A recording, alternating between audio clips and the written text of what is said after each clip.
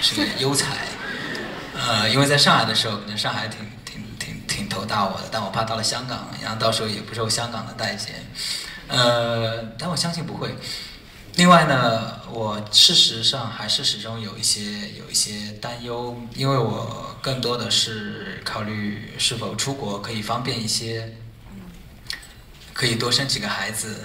但出国呢，可能可以大不了起早一点去办签证来完成这个问题，因为我，嗯，但是生孩子的话，呃。